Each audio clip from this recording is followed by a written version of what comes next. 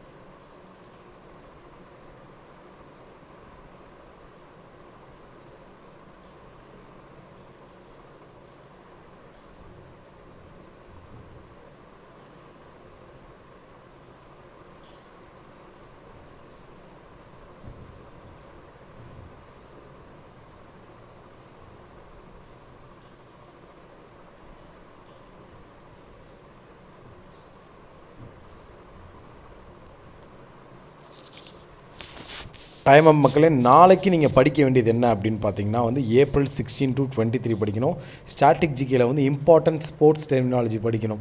Sports terminology means இப்போ வாலிபால்னு இருக்குன்னு வச்சுங்களேன். அட்டாக்கரு அந்த மாதிரி ஒரு டெர்மினாலஜிஸ் நீங்கள் படிக்கணும். அதே மாதிரி பேங்கிங் அவேர்னஸில் பட்ஜெட் இன்றைக்கி தாக்கல் பண்ணியிருக்காங்க. அதை ஃபுல்லாக படிச்சிருங்க. இது சம்மந்தப்பட்ட குவிஸ் நாளைக்கு இருக்கும். ஸோ உங்கேருந்து விடைபெறும் யான்னு பார்த்தீங்கன்னா உங்கள் ஜாக்சன் டின் டின் டின்